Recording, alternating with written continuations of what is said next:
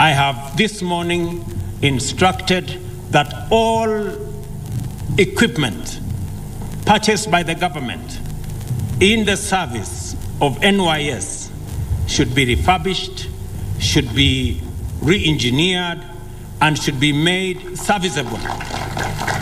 And the necessary budgetary allocation should be identified so that the government of Kenya can finance to ensure that the National Youth Service takes advantage of the energy, the talent, and the expertise of the young people in the service to be able to contribute meaningfully to nation building.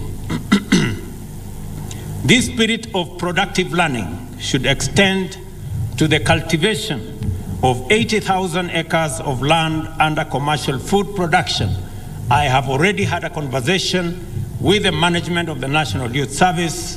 We have already agreed that the government of Kenya is going to provide agricultural machinery to support NYS agricultural sector for food production, to enhance self-reliance by NYS, and to support national food production as we seek for food self-reliance as a country.